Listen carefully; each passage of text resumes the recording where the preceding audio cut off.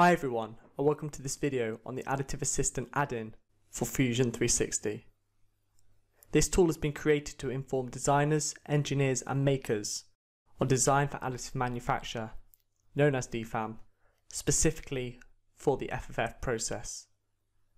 FFF stands for Fused Filament Fabrication and is one of the most common 3D printing technologies. The add-in is available for free on the Autodesk App Store Simply sign in, click download and run the installer. Once complete, open up Fusion 360. Enter the design workspace and navigate to the inspect tab in the ribbon.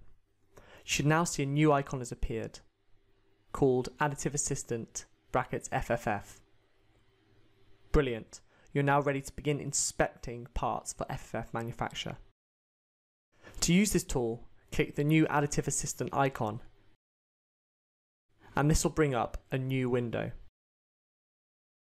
Firstly, select your part. This needs to be a solid body. Next, select the material that you'll be 3D printing with.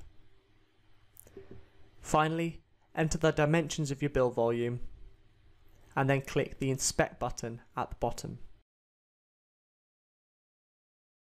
You are then presented with the results window and the results table. Within the results table, there is a checks column. This shows the areas that the tool analyzes. These include overhang angles relative to the work coordinate system in your document here, areas that are prone to warping, areas that may have bed adhesion issues, the size of the part and whether it fits within your specified build volume, and finally, the estimated environmental impact of the print. You can get immediate feedback on these areas from either a green, orange or red thumb icons, which will be shown in the middle column.